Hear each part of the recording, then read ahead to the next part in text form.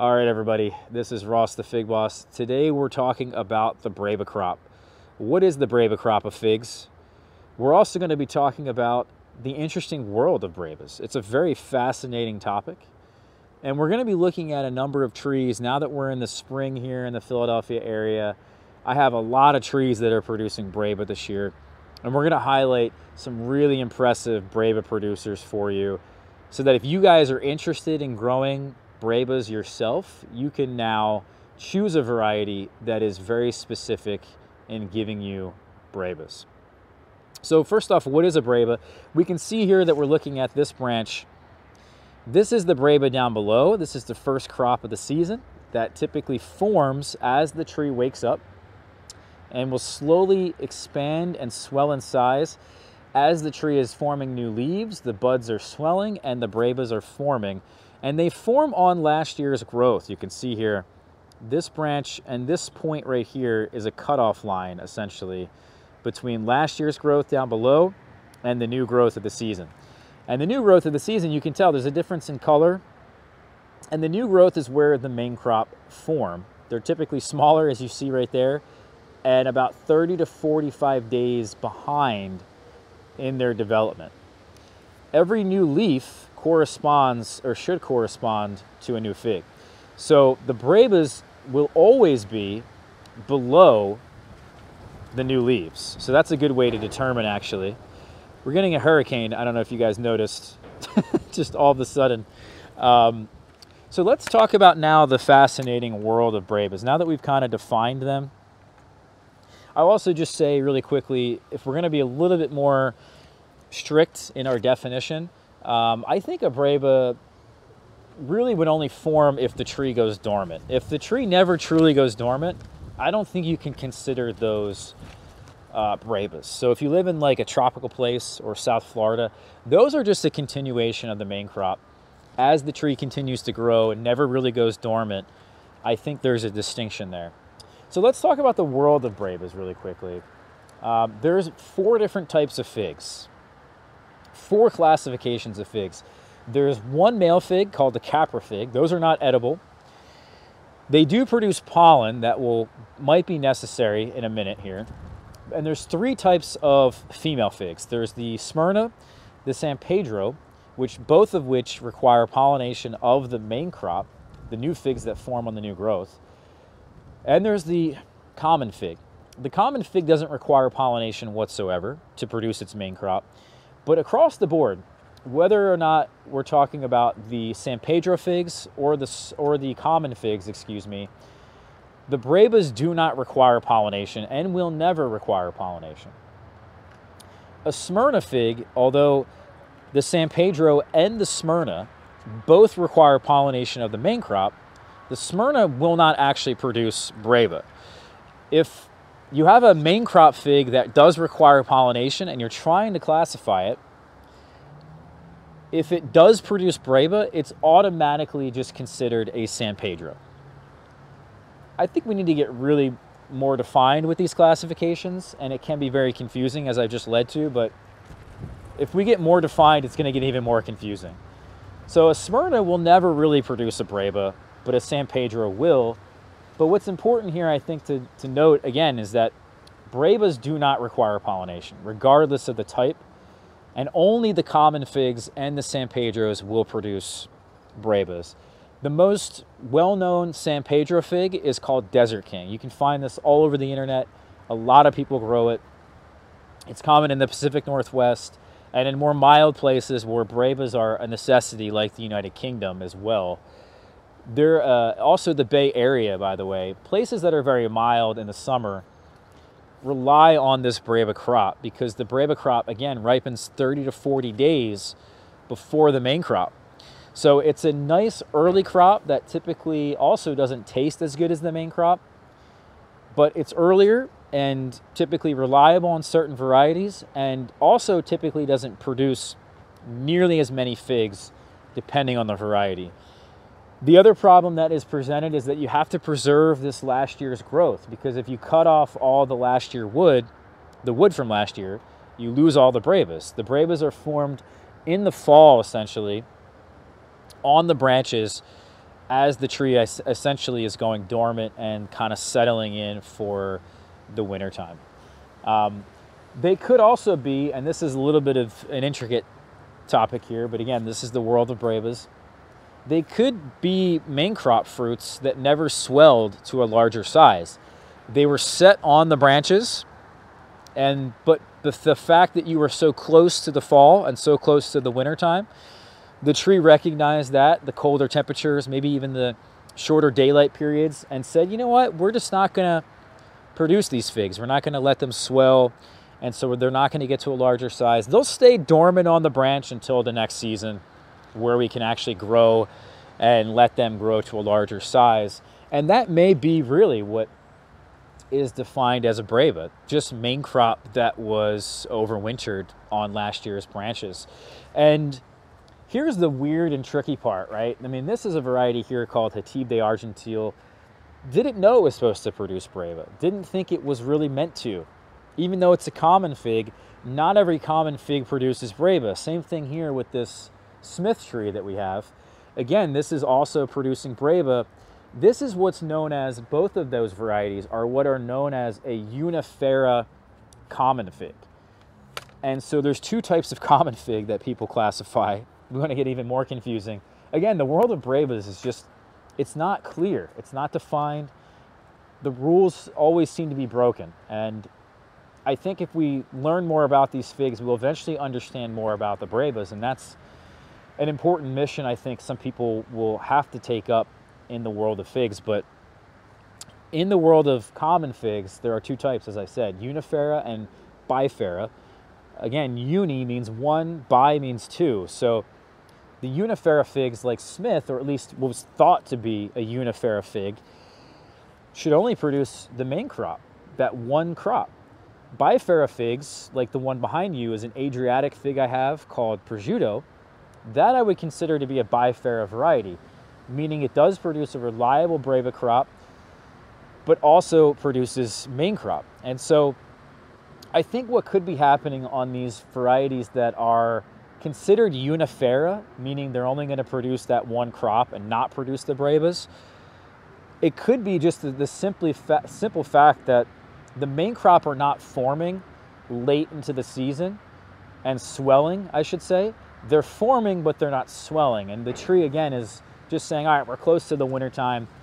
You just stay dormant, and then the following year, maybe we can get growing here in the form of a breva. And so that might be, I think, just a more realistic view of what every breva actually is. Um, but it could be a little bit more intricate than that, and uh, I don't want to speak if that's the case on every variety, but certainly that's the case I'm seeing what seems like to be the case on some of these figs that you would consider unifera, meaning that they're not supposed to produce breva. So that's the interesting world of figs. Now let's look at some of the trees that are producing breva this year in a high rate. This is prosciutto, again, an Adriatic fig.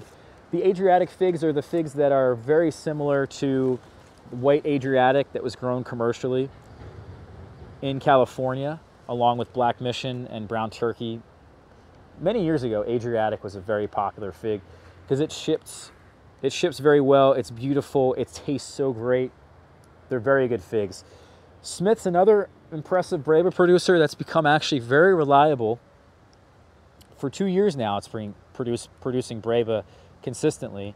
Hative de Argenteuil, again, we looked at, didn't know that was supposed to produce Breva, another unifera variety that I am surprised with. Down below here, this is a dwarf fig called Little Ruby. It's related to Hardy Chicago. It was bred with Hardy Chicago in it. And Hardy Chicago is one of those figs like the Adriatics that we just looked at that will produce Breva, but because there's so many names for a Hardy Chicago, although this is not another name, this is a child of Hardy Chicago. But in the case of the Adriatics, in the case of the Hardy Chicago figs, not every Hardy Chicago is created equal. Not every Adriatic is created equal. Because they're so good, they're such amazing figs, they have so many names. They're grown all over the world, and it's just inevitable that they're going to gain a lot of names, come from many different places. And so I've trialed a lot of the Hardy Chicago figs here, others have as well. Same thing with the Adriatics. Not every Adriatic produces a reliable Breva crop. that prosciutto fig is seemingly a very good producer, as well as another variety I have called Verdino del Nord from Tatiana. This one here, Little Ruby, has seemingly been a very reliable Breva producer, producing about 12 Brevas two seasons ago. I think I may have gotten a few last year, but not many. And now this year, actually, it's not producing any Breva. So is this a reliable Breva producer? Is it Unifera? Is it Bifera? Maybe two years ago, when it produced those 12 Breva, it actually was main crop that the tree again didn't want to swell in size and didn't want to produce.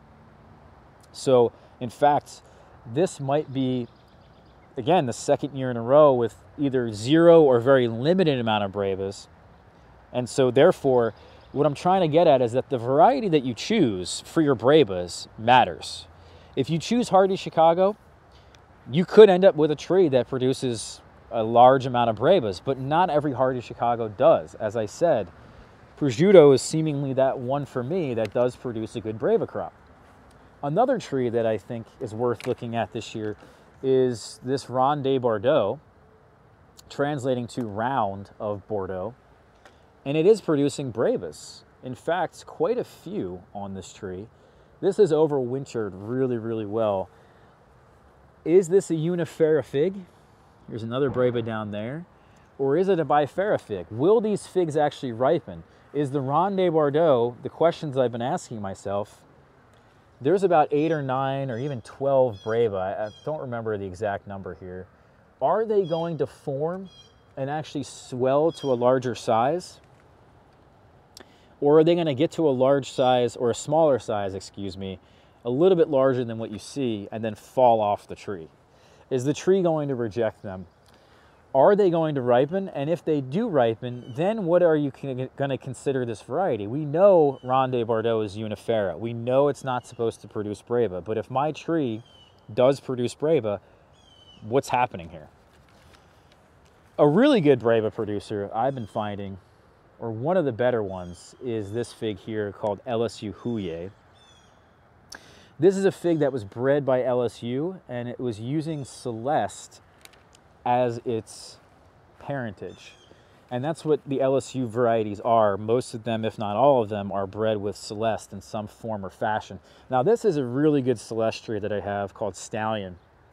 It's really hardy, it's growing really well, but Celeste, from what we all know, Celeste is probably the classic unifera fig meaning that it's not going to produce breva. And this tree here has not even really formed breva. If it does form breva, they typically will just fall right off the tree very quickly in their, in their development.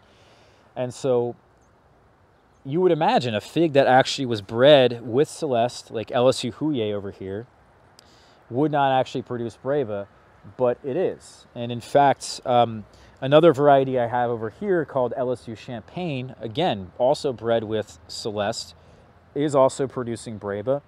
Um, LSU Scott's Yellow. And so you would think, again, because it is related, meaning it wouldn't produce Breva, but there it is. One of the best Breva producers I have is this fig here called Moro, Figo Moro da Caneva. It's from Caneva, Italy. It's grown commercially for its main crop and its Breva production. And this tree's got, I think, what's going to be about 20 Brevas on it this year. Really, really impressive fig. We've also overwintered some of these over here. This is Barbillone, and Barbillone is a really great Breva producer for the Pacific Northwest. It's been kind of proven by a grower there named Paulie, who kind of introduced this fig for the first time to the fig communities. It's basically a mutation of White Marseille, and White Marseille is also a really good Breva producer. Here's actually a Breva forming down there on White Marseille. Not every strain of White Marseille is created equal, though. That's the other thing. And that, again, just because you have a White Marseille doesn't mean it's going to do what I say it is. Here's Brianzolo Rosso, another fig that I thought was actually unifera. It's a very early fig to ripen. And so typically the super, super early figs like uh, Ronde Bordeaux, Celeste, again, Brianzolo Rosso, they don't produce Breva. the Breba crop can in fact delay that main crop production. Here's a weird tree back here that I know does produce Breba reliably, but this year it's producing 15. This little tree, just these two branches, if you count the number of Breba, is 15. That's incredible, unheard of. Uh, this is called White Triana. And White Triana is a very similar fig that I find you guys ought to look into. That's similar actually to this one here called Safrari. And Safrari is also producing Breba in here. And Safrari and the and White Triana, both are very similar to a fig called Canadria, Atriano, Lyndhurst White, Latarola, uh, Unknown Mythica. There's so many names that are very similar, but they're all slightly different than each other. What I really like about White Triana is its better flavor, better berry flavor. Safrari seems to be a much hardier version than White Triana thus far.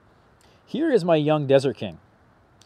And you can see it's over here. We, we actually bent it over like the other figs and uh, buried it with wood chips. And it did overwinter really well and is going to produce three Breba. So uh, four Breba, actually six. okay. Got to count better there. They're a little hidden sometimes. But this is going to produce six Breba, so that's pretty good. Even for such a young tree that we're still missing growth here from the tips that either died from the winter or was pruned. And so the further up the branches you go, typically the more brebas you can, uh, you can produce. Um, this fig here, Azores Dark, is a hardy Chicago type that is indeed producing breba as well. Here's another really good breba producer, I think is fairly, fairly underrated, is uh, Nerucciolo de Elba. And uh, Nerucciolo de Elba is a really good producer of figs. This tree here, I think, has got about eight or nine different breba on it. Um, almost all the trees I have planted in the ground here, it's crazy, but as they continue to get older, if they're meant to produce breba, they're producing more and more of it every year. Another Azores Dark right here that's swelling some breba. This is uh, Green Michurinska. Don't know if it is supposed to produce breba, but there you go. There's some breba there. And this tree probably will have at least six or so, maybe a half dozen breba uh, when it's all said and done. You can see they're really small there on the branches and it's hard to see them, but um, I assume most of them will swell, get to a larger size. Also really one of the best Brava producers that I would recommend for people in, you know, Breba land, the Pacific Northwest and mild climates. What you really want to go for is a number of figs that I think are the, the very best. So let me just recommend them right now. One of them, again, is behind me. It's called Longue d'Août. Produces giant brebas. They're very tasty, and uh, I would just highly recommend that variety. There's also Desert King, Violet de Bordeaux. Um, I think Moro de Caneva we could probably put into that class, but there was two other classic figs I was thinking of. Um, some kind of White Triana, Safrari, Atriano, that classification of fig. A nice Adriatic fig, I think, would be great. And, um, oh man, there's one that I'm not thinking of.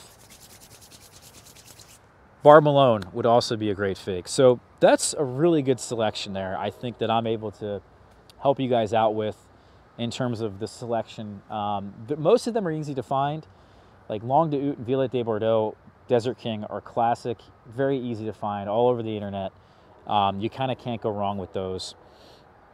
And uh, yeah, that right there is the lesson on Brebas. I hope you guys enjoyed it. We'll see you soon, okay? Hit that subscribe button.